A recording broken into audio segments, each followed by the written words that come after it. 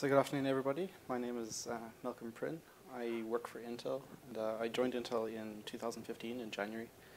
And since about March of 2015, I've worked pretty much exclusively on this Intel Quark microcontroller software interface.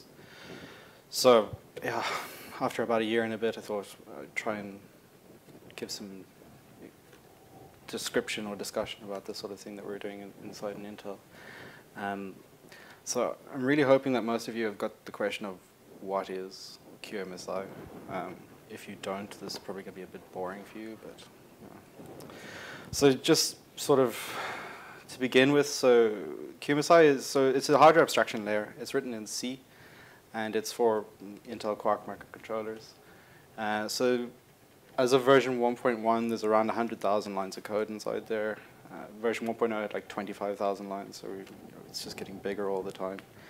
Um, that's just code. We've also got like 25,000 lines of comments and stuff, so it's, it's relatively well documented.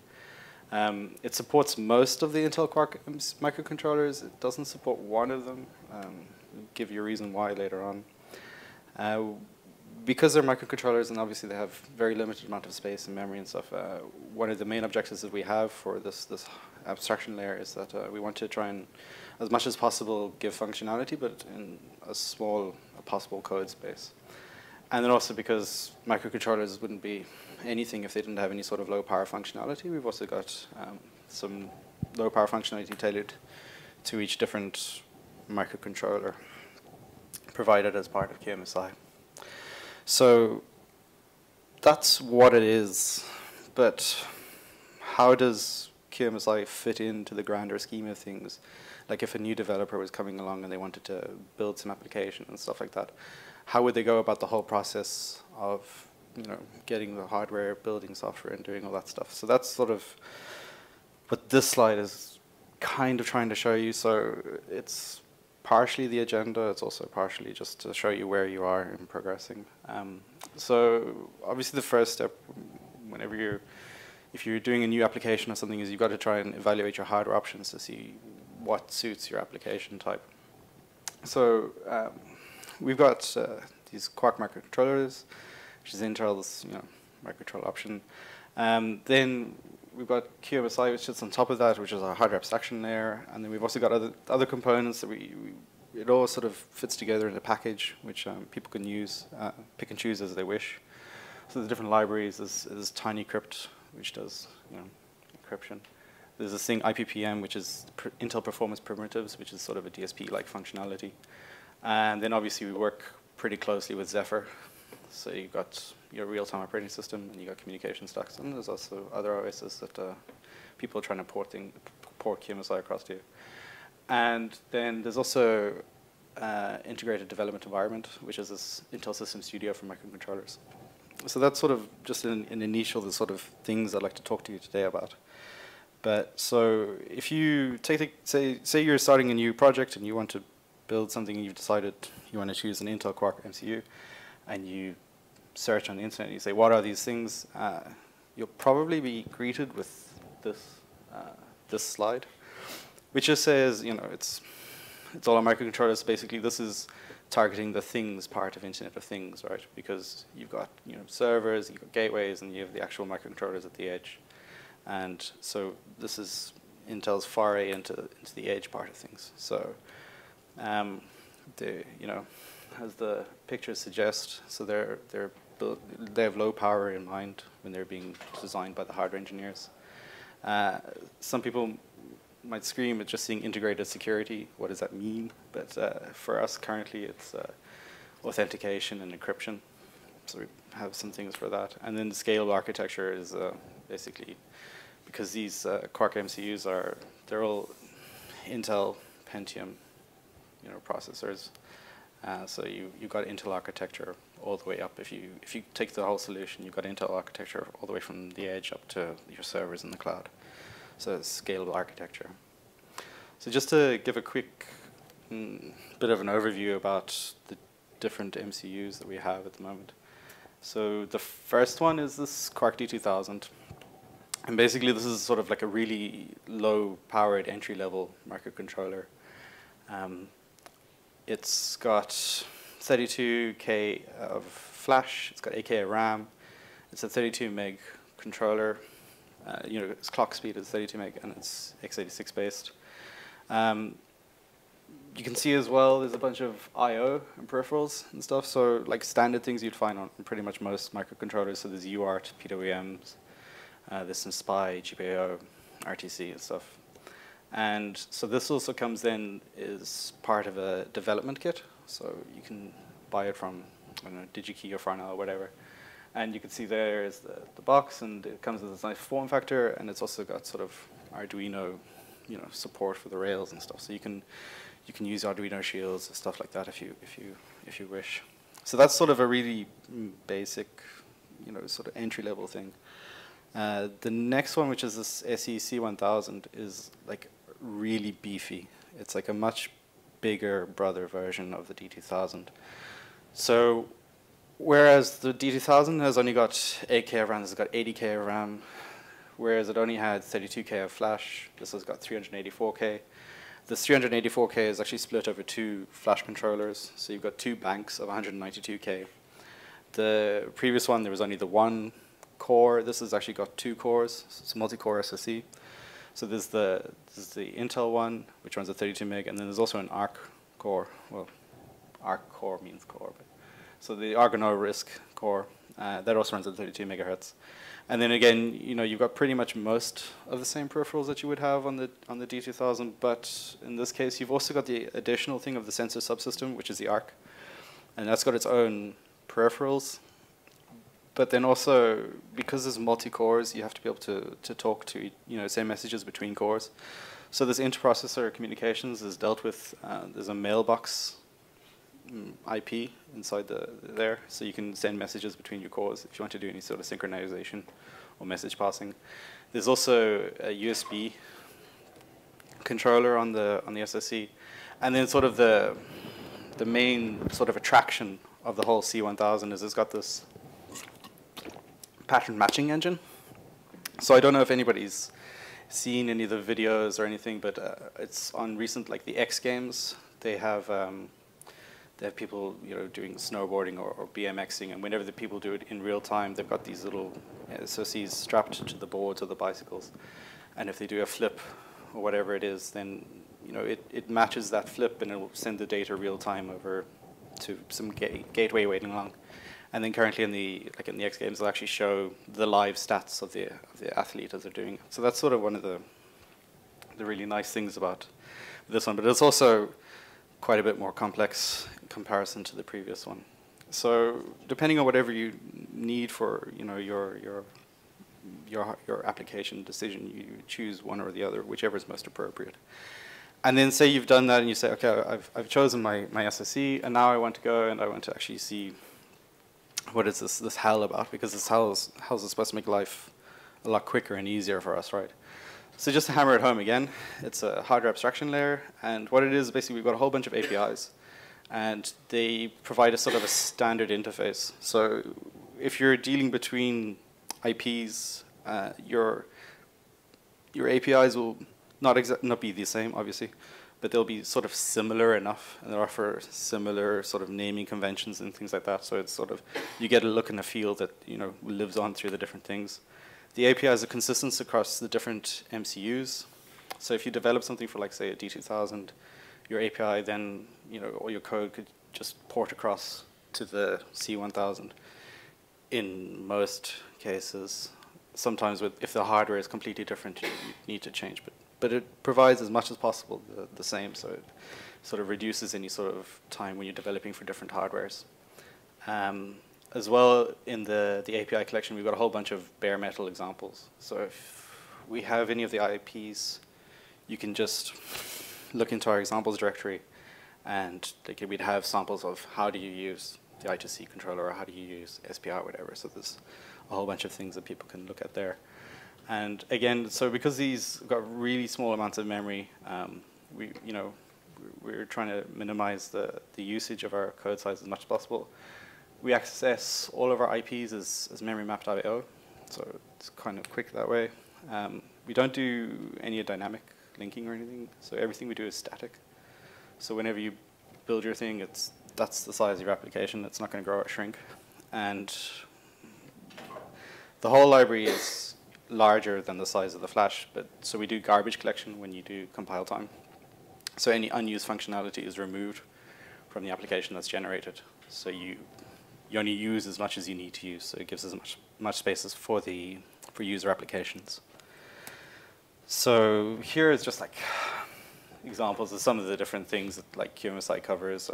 you can see there's like all the different um, all the different IPs and peripherals and things, and then also there's other things like um, identification. So you can at runtime you can identify what SOC you're running on if you need to. I mean, if you want to have one that can run on multiple ones and it can do different functionality based on them, that's it's possible. You know, if you don't want to do it at a compile time. And then there's also things like a bootloader and firmware upgrade. So from so if you so you get, so you get the sort of the overview of, of all the things that happens, and then pretending that you're curious, uh, you can look into because you can look into the bootloader bootloader or the ROM, and you can see all the sort of things that it does. So mostly what it so it does the initialization because obviously whenever it boots up because it's a because it's Pentium, um, it starts off in like 8-bit real mode. So there's a bunch of code in there to transition it into 32-bit mode, so it's useful for us. Um, there's also trim code calculations, which I'll get to in a bit. They're, it's kind of important, but you know, just don't worry for now. Um, there's firmware update management, so we have like a you know processor. It's a fork of DFU utils. So from version 1.1, what we did was we forked DFU utils and modified it so that you can use DFU utils with UART as the transport layer. But then in version 1.2, we now have USB support. So we just have the original DFU utils as an option there, so you can do your device firmware update over USB or UART, depending on which one you want. And there's some host tools provided to do that. So the ROM has this capability inside it. And then the final one is this, this unbrick me thing, which uh, when we got our first boards, like, you know, because you're dealing with microcontrollers, there's a chance that you can leave it in a bad state. So we added this little functionality in that if you if you ever are in a bad state with your, your SOC or whatever, it will basically wait for a pin. So if a pin is grounded, it will just loop on that pin. So you can always get back in and you can save your SOC. So it's just a little bit of protection that you know we used and we think is quite handy. So the general flow of how things go when the when the the microcontroller or the SoC starts, boots up at the start.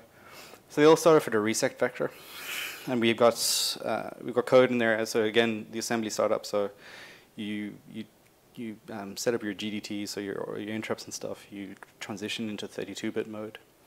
You set up um, your cache if it's on SE, and also you set up your your stack pointer. Then it goes into doing some prim primary peripheral setups, where it sets up the clock modes, which I'll talk about on the next slide. Uh, and it does trim code calculations inside there as well. Then it does this little unbrick me bit where it will check and see if you need to like get in there so you can talk to talk to it with OpenOCD and JTAG. And then it sets up your um, your secondary peripherals where it sets up the whole IDT and the IRQs and things so you get your interrupts ready. And then it gets to a split so there's the standard flow goes to the left, and then there's the update management mode goes to the right. So for the standard flow, what we have is if you, so you can see that the, the ARC box is a slightly different color. And the reason why it is is because prior to version 1.2, if you're running on the Quark SE, we would kick off the ARC as part of the ROM flow. But then we sort of realized that this wasn't exactly great if you needed synchronization or anything. So now we've done from 1.2 on is we've actually removed that option from the ROM. So user applications now have the ability to start the ARC themselves so that you can do your own synchronization instead. Um, so after that step, then this step now is starting the Lakemont core is, is, is common to all the SOCs. So basically it just jumps into your main. So as you know, embedded developers, you just start running from there. And then if it if there isn't an application flashed onto the SOC or, or if the user application actually finishes, it just goes into power down mode. So it can conserve battery. And this is sort of like a, if you, if you are transporting your SOC or whatever and you're on battery mode, then you just go into power down mode to conserve battery life. going on to the other side of things with the with the boot manager flow. Basically, it just comes in. Uh, if if uh, it checks it checks for um, it's a compile time option and it also checks for flags, and it says, do I need to enter into sort of DFU mode? And if it does, then it will first set up flash controllers, then it'll do some sanitization of the bootloader section, and then it will actually enter into bootloader mode, which itself is quite a large body of work, so not for here. Um, so I was saying before about the sort of clocking capabilities of the SOCs. And so what you have on, on the Quark MCUs is for the main system clock source, you can have a selection of what you want to use the main system clock source as. So you can choose to either use um, an external crystal oscillator, which will be running at 32 megahertz, and it's obviously it's a it's as accurate as your crystal is. Um, the downside of it is that it uses around four milliamps current to operate on the crystal. So you have to sort of decide: Are you in a situation where you need this sort of accuracy, and can you expend this sort of power? If you can't, what we have is we've got a little silicon oscillator inside there, and you can choose that to act as your main clock source. So the silicon oscillators, you can tell it to operate at 32 meg, 16, 8, or 4 meg, and it also has prescalers, so you can prescale down from that. But the so sort of and it uses only like 450 microamps at 32 meg, which is obviously quite a lot less. It's like an order of magnitude lower. But the accuracy is not as great. So this is where the sort of the trim codes come in because if you so part of the trim code process, is you've got to you know trim the oscillator, and uh, so the, if you don't do any of the calculations and you say I want to operate at 32 megahertz, because the trim codes would be potentially wrong, it would be operating at you know 29 megahertz or something else, and then everything would break down because you're you're expecting it to be one frequency, but it's not. So that's why the bootloader then does um, does the trim code calculations so that it will set up all the correct trim codes for the different operating modes of the silicon oscillator. So if you change clocks, clock settings, it will be correct and it will be what you're expecting. The final option that you would have for the system clock source is you can choose to have it operated off the RTC, so the external RTC crystal. So there's obviously you know 32k crystal, and um, for these ones, it's obviously it's if you're into sort of super low power modes where you have really long delays between needing to wake up, uh, that's when you'd use it. So these can all feed in as an option, so it's one at a time, as your system clock source, and that's what your your processor will run off of. But then also the peripherals, most of the peripherals are sourced from the system clock source. So like the examples given here, I'd just like to see an SPI. And so what you have is you've got your system clock source running at whatever speed it's running, and then you can assign a prescaler value to the to the clock source, which would then feed in as the clock source for whatever IP. So you could have your clock source running at 32 meg, and you can pre-scale that down by like four or something, and then your SPI will run it um, at four, uh, eight meg instead. Um, and then also as part of sort of power states and all this, you know, power modes and things, you can also enable or disable clocking for different IPs, uh, for different peripherals as you want. I was saying that most of the IPs are sourced from the system clock source. There are three that are sourced from the RTC clock source. So these are the RTC, obviously. The the watchdog timer is on that, that, that sort of tree, and then also the always-on periodic timer. So if anybody's ever dealing with those ones as opposed to the, any of the other ones, you could be wondering as to why registers aren't updating, you know, in that sort of time. But that's most of that stuff we've sort of taken care of in the hardware abstraction layer instead. So then, um, so if you've got like or you're clocking down and stuff, then part of it is is checking out uh, what sort of different power states. So I was saying that like each SOC, you know, QMSI provides power states based on whichever SOC that you're working with. So D2000, it's it's a pretty simple thing. Uh, it's got pretty simple power modes to go with it. So you're either in active mode or you know completely off. But so in active mode, you can go into hold mode, which will just halt the the system clock, but won't hold anything else. So everything else can keep on running. And it's sort of a really fast way, but to just conserve a little bit of power while you're waiting for some, you know, some slow, short transaction to complete. And then when an interrupt request happens, then the whole system goes back into active mode. But then also you've got sort of deep sleep options where you can power down more and more clocks, and the more clocks you power down, the more power you would save, obviously. Um, so then the sort of options we've got in D2000 is that we, we got, um, you can do deep sleep with no clocks at all, or deep sleep with uh, an RTC source. So the RTC source you can wake up as, as, as RTC as your wake up source, or with the no clocks at all, it would be on um, like a comparator, you know, to, to wake up your your SSE. So that that one's really easy, and it's you know not that intimidating. But then when you go across to the the C1000, it you know it starts to look a bit more because you've got to start managing multiple cores now. So there's obviously a lot more choices and options you can have. But you know it's sort of almost analogous. So you've got C states, which is an Intel thing, right?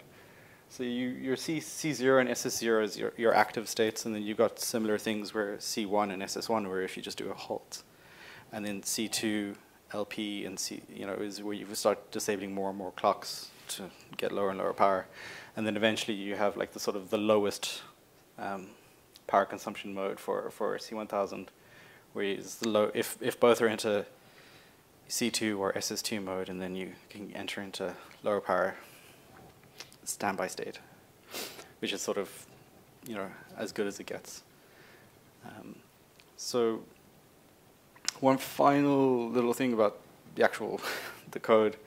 Uh, so this is just a little sample of how you'd actually use uh, QMSI in general.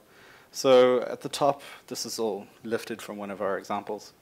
Um, so you can see we've got a little QMRTC config struct type at the top, we call it config.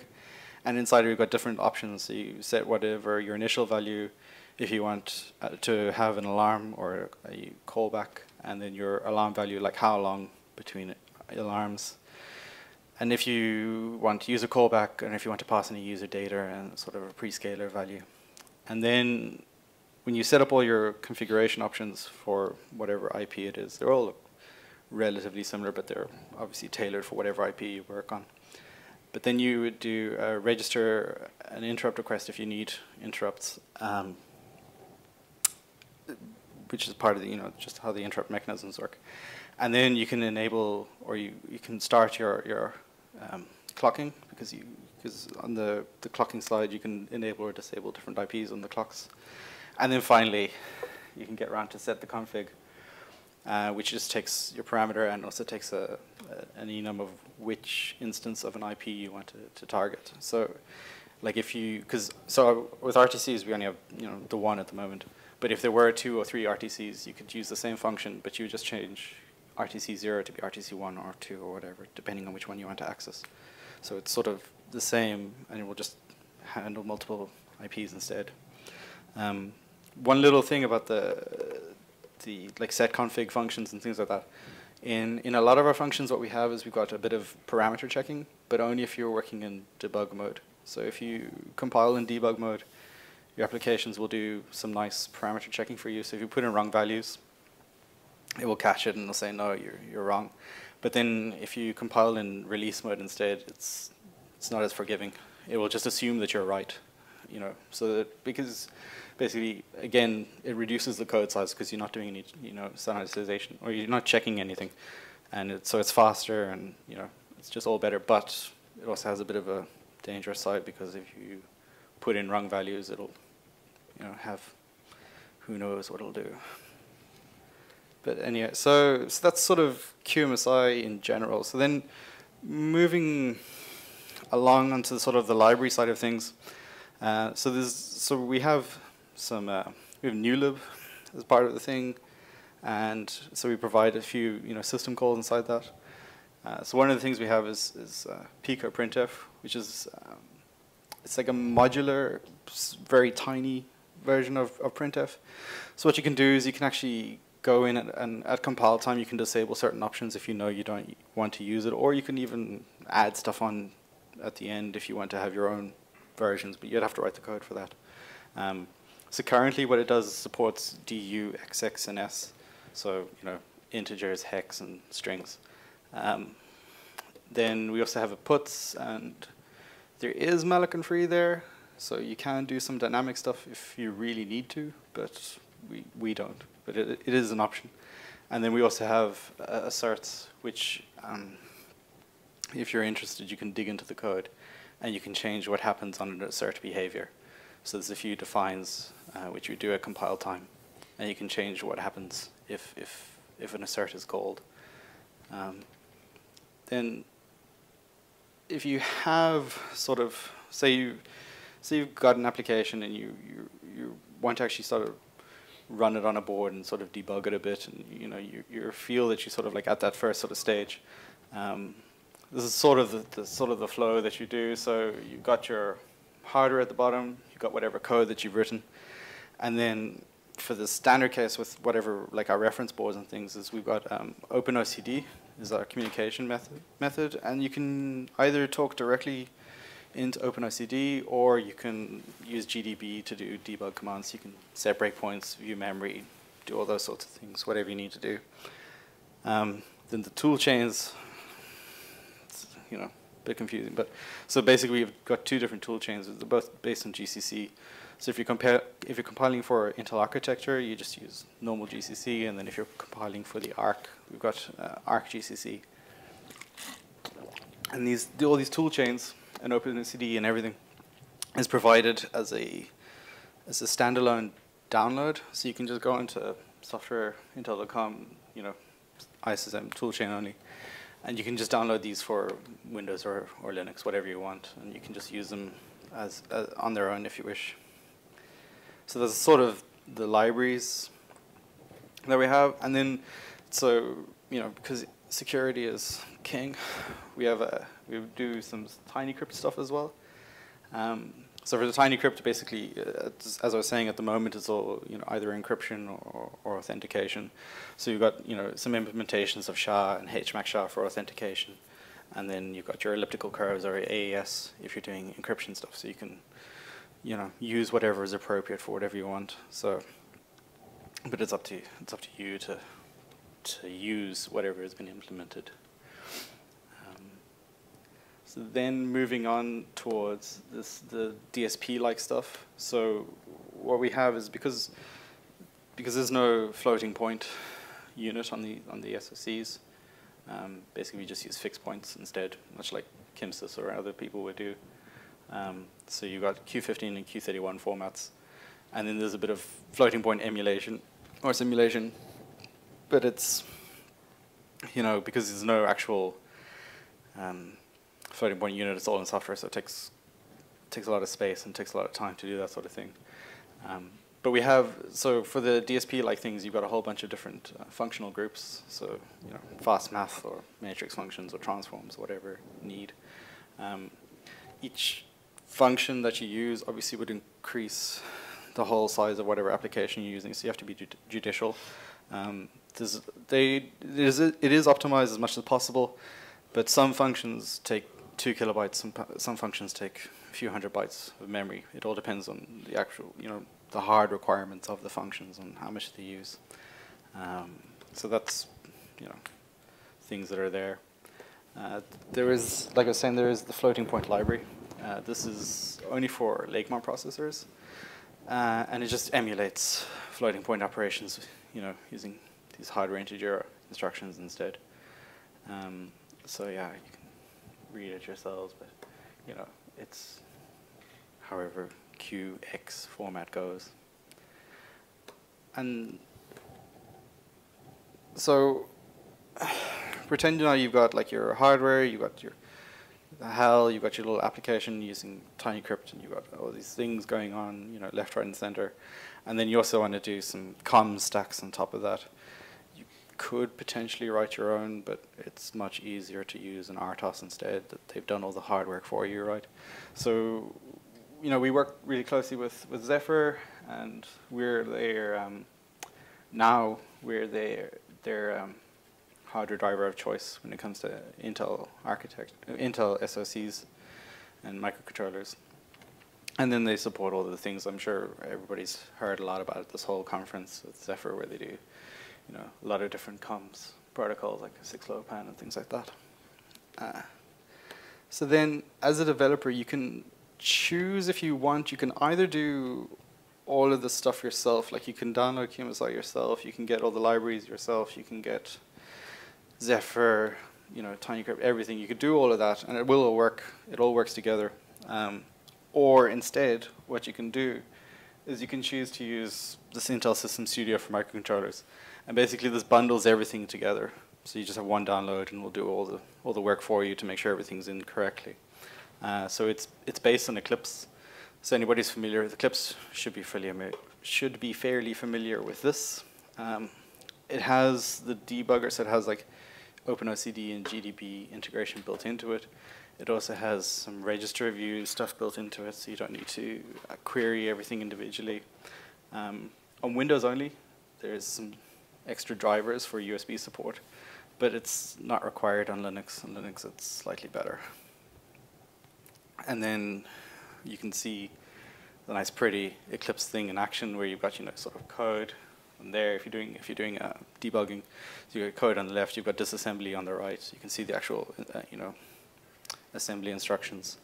And then at the bottom, there's a register view. So you can, if you are stepping through your application, you're wondering why something isn't working, you can always stop at any point. You can go down to the register view and you can just say, what's the actual status of, you know, my UART registers, and it will show you everything inside there. So it's pretty good, you know, uh, but it's it's pretty standard, I'd say, at this stage.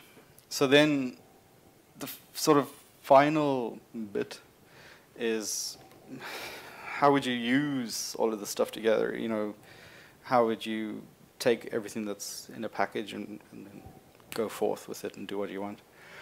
So as I was saying before, we've got a whole bunch of like existing applications in bare metal. Um, Zephyr comes with their own you know, sample applications as well, but here we have things of how exactly we would use RIPs in whatever situations. Um, there's a few classics, like Blinky, you know, just in case you ever need to blink LED on and off forever. We've also got Hello World, otherwise we, you know, we'd be shot. And um, then also some specific power examples for the different SoCs because again, the hardware is different, so controlling the power modes in them is different. And then also um, some Grove Shield examples as well, where you know Grove Shields are little sensor kits, and you can use them and do what you wish. So, if you've done all that and you think maybe I'd like to you know have a look at QMSI, there's a couple places you can go where you want to get it. Uh, so the first place would, well, one of the places is you can go along to this Intel Developer Zone and you can just download the latest bundle for ISSM on whatever platform you choose. And that will give you, you know, everything, toolchains, code, Zephyr, all this stuff. Um, or you can go to GitHub. So prior to version 1.1, we, we had GitHub. We were hosting on 01.org, um, but then we sort of moved to our own little GitHub project instead.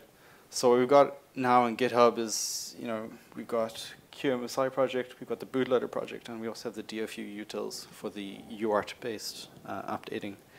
And, you know, it's, it's there. You're free to do whatever you want copy it, fork it, who cares? You know, contribute to it. That would be best of all, right? Um, so that's you know the link up there. Feel free to go along.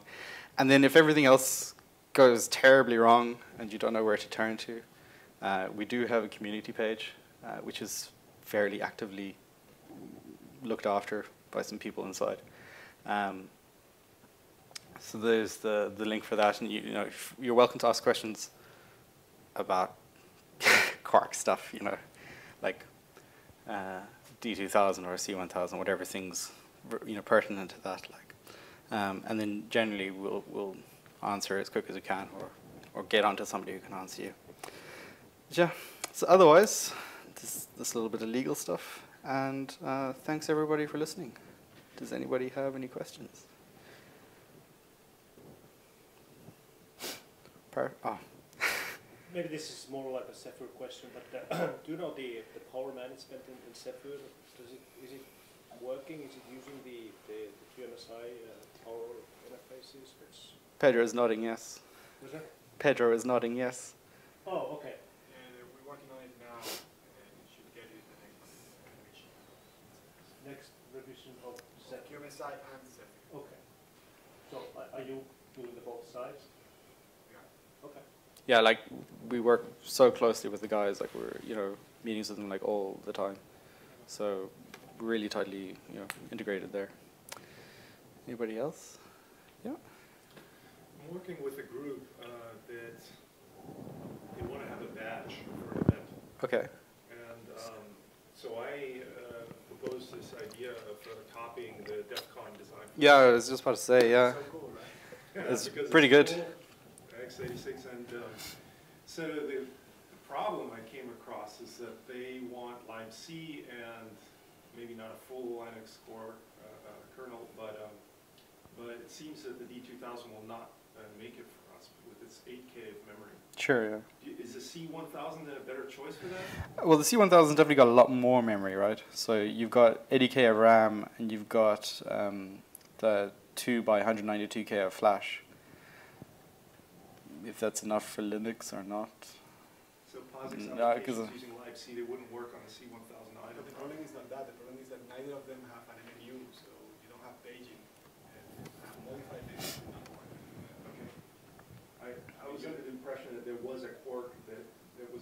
Well, feature. so Yes, there are yes. quarks, um, like the, the X1000, like the Galileo or, or the Edison, they, they run Linux things, but they're, they're not the MCU side of things, they're you know, much, much, much, much beefier. Like. So in general, if you need to run a classic OS, uh, we divide between microcontroller MCU products and uh, microprocessor products, MPU products.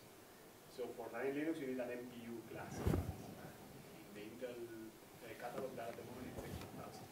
the one in Galileo. That's in the Galileo X1000. Yeah, and that one has external uh, DDR, so you can as much RAM as you want. You can have compact flash, but it'll be a heavier, more power hungry uh, design. If it's for a batch, do you really need Linux? I don't want Linux, but, um, yeah, the guys want to port their software on there that's already working with libc, so. It's, it's, it's a conflict that we haven't sorted out. I don't know. Maybe put X, X thousand on there, maybe try to copy as much of the DEF CON Do- Do it in a winter winter situation. The, the DEFCON guys, they, they basically took a de- uh, the 2000 and they developed everything in bare metal QMSI. And they said that for their needs it was perfect. Like, yes, a C runtime environment and access to the I/O. Very simple, very tiny code. You can always drop somebody an email maybe and check. Drop who email? The DEF CON guys?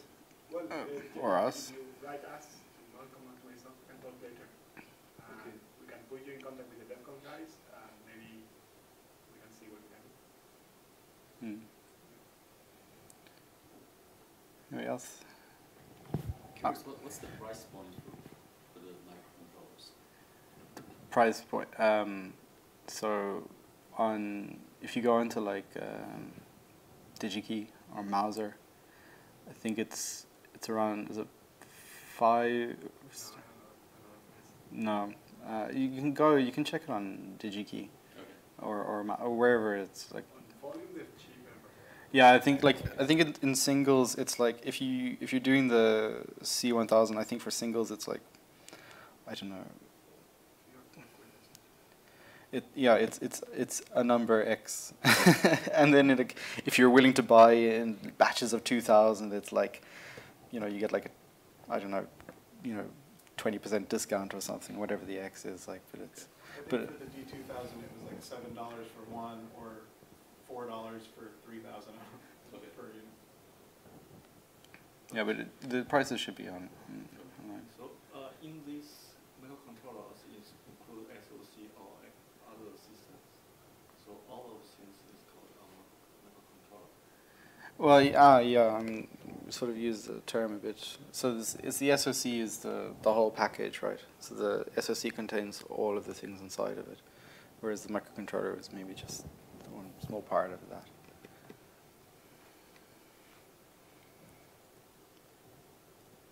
All right, if nobody has anything else. Oh. other use cases for this? Uh, so use case would be any Internet of Things thing. So like some of the things you you might have seen before would um, be uh, like at the X Games they have these these ones in particular. They have them on like snowboarders and BMXers and stuff. And as people do tricks, it shows you in real time, you know, their speed and their velocity and, and uh, their rotate angular rotation and stuff. There is also um, our CEO did a demonstration at CES last year. We had a he had a button on his suit, and it showed him walking. You know, he it showed his stats as he's walking around for the whole presentation. So, so yeah, whatever you need for Internet of Thingy things. Yeah. Anyone else or? Okay. Thanks very much.